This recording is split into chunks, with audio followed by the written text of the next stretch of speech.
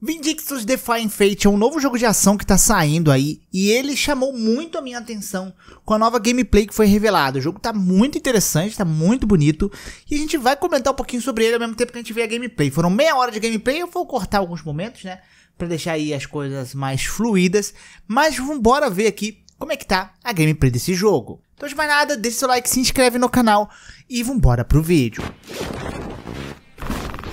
Bem, esse daí é o jogo, né? É, aparentemente é uma protagonista feminina apenas, a gente não pode customizar, né? E aí tem um combate bem focado no seus like, na defesa, na esquiva. A movimentação parece bem interessante. Né? Você tem a esquiva. A pelagem dos inimigos ali, desse, desses lobisomens, estão muito legais. Os cenários, a ambientação tá bonita do jogo. Esse jogo tá sendo feito pela Nexon, tá? Que é uma, uma, empresa bem grande. Ela é a mesma que, inclusive, né, fez o David Diver, que é um indie muito bacana. Então a gente tem essa empresa aí. A gente tem dois tipos de inimigos aí. Inicialmente eu até achei que ele era um MMO, mas ele não é um MMO, até onde eu vi. Ele é um jogo ali nesse molde mesmo, mais single player, com né, inimigos no mapa e tal. Tem uma espécie de bonfire aí que você vai com a personagemzinha. Você pode dar aquele rest brabo, né? E ali você tem, é, aqui provavelmente você vai ter um menu onde você faz upgrades e tal, como isso aqui deve ser o começo do jogo. Às vezes você não tem aquelas opções de fazer upgrade ainda no personagem, ela é apresentada depois, né? E aqui a gente tem dois inimigos. Usou tipo um parry, ela... Ah, é, um, é uma habilidade que ela avança com escudo ali no cantinho, né? Tipo Stellar Blade. Eu acho que deixou tipo o inimigo tonto, né? Então a gente tem essa mecânica de esquiva, defesa, mas também tem algumas habilidades, claro, que vão auxiliar a personagem aí no combate, né? A gente tem esses inimigos em forma de lobo. Eu achei bem legal o visual desses bichos aí em questão a pelagem, né? Tá bem, bem bacana. O movimento também ali da, da roupa da boneca. Uma paredezinha invisível ali bonita, né? Mas vida que segue. Tem um baú, né? Mas tá ali escrito Work in Progress, tá em desenvolvimento. Assim, ele aparenta ser um jogo de mundo aberto ou semi-aberto ali. Que, né, vão ter aquelas ramificações, mas vai ter o caminho principal pra gente explorar. Agora tá entrando aqui numa caverna. Vamos ver se os inimigos mudam nessa caverna, se eles vão ser aqueles lobos ainda. É, um lobo, mas tipo um boss, né? Bacana. Vai de, vai de arrasto, hein? O inimigo fica tipo tonto aí, ele tem que apertar RT, né?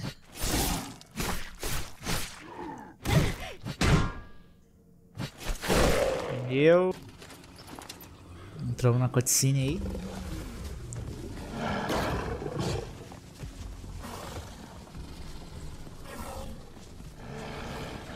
Tem bicho, hein? Isso aí vai detectar ela.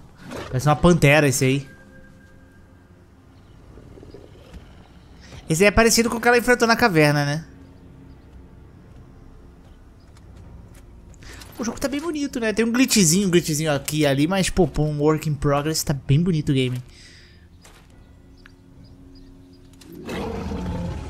Ih, vai aparecer o bichão, mamãe. Oxi.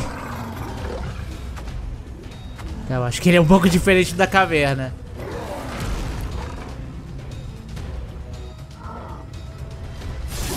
Shadowfang.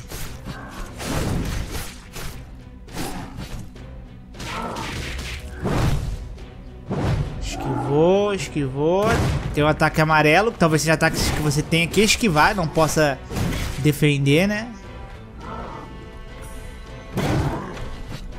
Esse cara já tinha ido de rala há muito tempo, dependendo do dano desse bicho real aí, porque ele tá dando pouco dano. Boa. Ataque fraco, ataque forte. Tomou de novo. Vai de base, vai de base. A movimentação tá bem legal, né? Não só do personagem, mas do boss. É um moveset bem bacana. A trilha sonora também que tô, tá tocando aqui, bem épica, bem massa.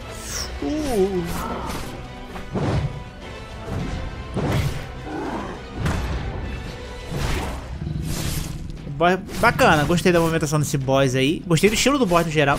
Tudo bem que ele parece bem os inimigos ali que a gente tem, né? Mas bem legal, bem bacana aí. Achei, achei brabo. Ah, ele dá um tempo de batalha. Talvez você tenha algum bônus com isso, não sei. Mas derrotou o boss aí do jogo e vai seguir mais em frente o jogo. Interessante, bem interessante. Bem, aqui a gente tem um cenáriozinho um pouco mais diferente. Tem um baú ali que não dá pra abrir. Eu acho que pra upar o personagem também não, não deve estar tá, tá liberado ainda. Aqui a gente tem um inimigo que é lobisomens, mas agora com marretas.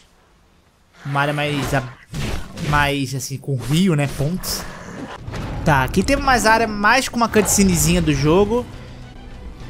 Será que é outro boss? Um outro boss, só que versão arqueiro. É, assim, foi um... Eu dei uma, uma, um corte no vídeo, mas não se passou, sei lá, uns... Talvez 7 minutos, 10 minutos depois daquele outro boss. Então, sim, foi um boss numa sequência bem grande. Então, aparentemente, podemos ter bastante boss. Mas parece, assim, um inimigo que vira boss, né? Vai morrer o cara. Toma curinha. Esses boss aí machuca já, hein? Ah, ele defendeu no tempo correto, toma dano não, ó. É um parry, meio que um parry, né? Vai morrer, vai morrer, filho. A bonequinha tomando a cura também. é Dark Souls dois filhinhos aqui, ela demora pra caramba.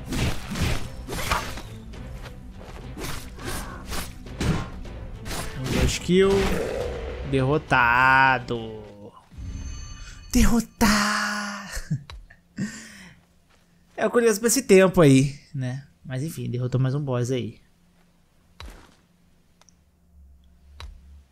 Ah, também tem, ó, roupas.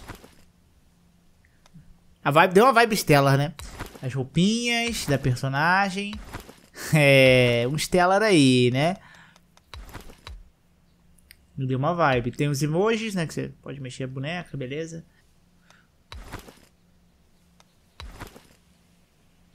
Aí tá mostrando agora, né? Visualmente de frente. Pô, esse de cavaleiro aí. Massa. Pô, em vez de ser roupa assim, outfit, podia ser armadura, né? Que trocava mesmo. Eu acho muito mais legal quando é armadura. Porque além de você ficar mais forte, você. Pô, tem umas armaduras maneiras, tá ligado? Não é só uma roupinha. E tem as dancinhas da boneca aleatória, enfim. Uma coisa assim que, né, eu não curti tanto vendo agora aqui é essa quantidade absurda de bicho, hein? Putz, muito bicho, cara. Espero que seja um negócio que não seja tão recorrente no jogo. É, sei lá, é sem graça esse tipo de combate ter muito bicho. Assim, é, é sempre mais divertido. Olha, vem mais três ali em cima, maluco. Que isso, cara? Tá, não sei se é pra ele ter feito isso aqui, chegar nessa área assim, mas muito bicho. Isso aí eu já acho um ponto negativo, né? Claro que se for um ponto ou outro, beleza, mas se for o tempo todo igual o Lords of the Fallen, nosso ilustre aí. Chato pra caramba, aí. E aí, mais uma cutscene. Mais um inimigo que vira boss, né?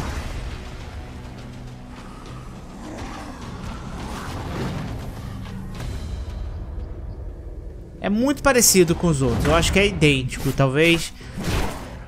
Assim, o jogo quer fazer volume por boss, utilizando muito inimigo comum, né? tipo como Elden Ring faz, mas Elden Ring ele disfarça, né? Um pouco. E, tipo, você acabou de enfrentar um lobo disso aqui. Eles aumentaram um pouquinho o molde desse, desse lobo. Porque tem um com marreta ali já. E transformou em boias, com uma coisa diferente, tá? O jogo tem um mapa também. É, que você consegue. É, tipo, você vê que ele é semi-aberto, né? Ele não é um mundo aberto. E tem trechos lineares, trechos mais abertos. E você pode fazer um fast travel ali, o que tudo mostra né, pra gente nessa parte aqui, pelo menos. Não sei se toda parte vai ser idêntica essa daqui, mas é mais ou menos assim.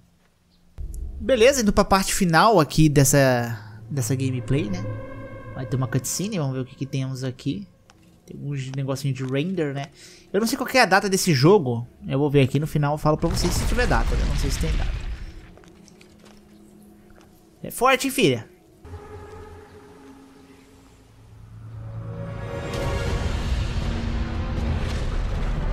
Tá. É. Parece outro boss. Só calma aí, esse aqui parece diferente. Pera aí. E tem uma pelagem diferente.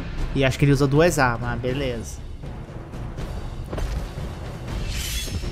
Ah, não, é uma arma só. Tá, é um pouco diferente, mas parecido, sabe?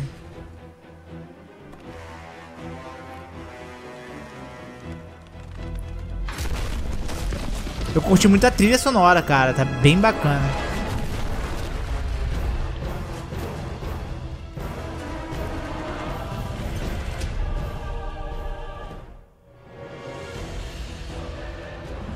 O chefe tem.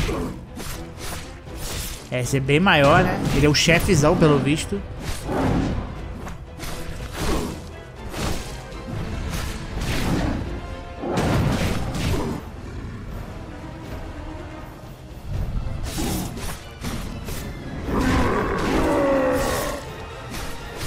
É, tem uma espécie de berserk aí, uma fúria.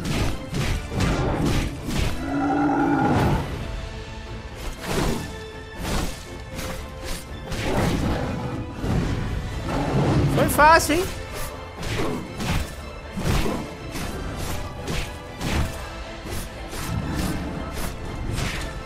Mano, o boss fica caído. Será que não consegue dar um crítico no boss?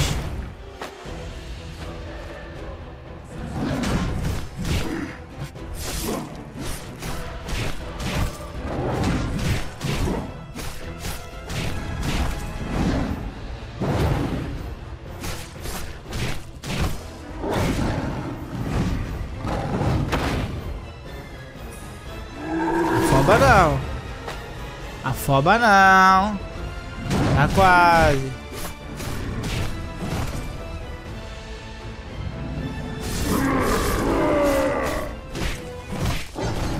Derrotou, boa.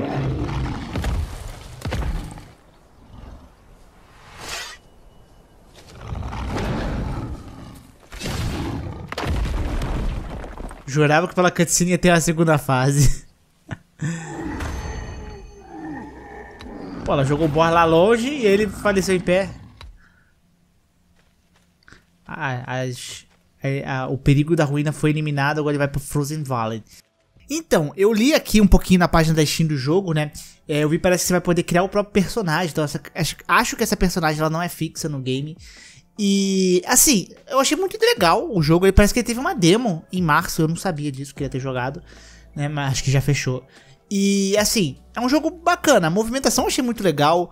O combate eu achei bacana ali. O, o, o cenário, o jogo tá muito bonito no geral. Mas ali, vendo aquilo ali, né? Parece que tem um posicionamento meio ruim de inimigos. É muita horda de inimigo em alguns momentos. Isso aconteceu mais de uma vez ali, porque eu cortei alguns trechos do vídeo. Uma repetição de bosses ali. Mas pelo que eu vi ali, aquilo ali parece uma área do jogo. Como se fosse uma mini dungeon de um Elder Ring, ali dando um exemplo e que tem esses inimigos, né? Na Steam, pelo menos, é, ele mostra o combate também com outro tipo de inimigo aqui bem diferente, tá? Tipo uma carcaça cheia de negócio, tá? Então, é, tem inimigos diferentes, mas o que eu senti, até vendo esse inimigo diferente mesmo, é que é como se fosse uma próxima área onde todos os inimigos são iguais, às vezes muda uma arma ou outra, só que com esse estilo diferente, tem tipo uma armadura de metal. E aí o boss também é nesse mesmo estilo. Então, né, é legal, o jogo parece estar muito bacana, mas eu espero que ele não fique enjoativo nessa questão de inimigos dele, né? E na questão de muita horda de inimigos, né? Mas, cara, estou interessado nesse jogo, eu curti, né? Esse aqui é o Vindictus Defying Fate, né? Vocês gostaram desse jogo aí? Comenta aí também, né? Porque eu tenho esses adendos aqui, mas na questão técnica ali do jogo, de, né, movimentação, combate, é, os gráficos inimigos, ele parece estar muito bom. Acho que ele só pecou nesses pequenos aspectos aí. Mas é isso. Espero que vocês tenham gostado desse vídeo. Um grande beijo, um grande abraço. Um beijo, até a próxima e tchau, tchau.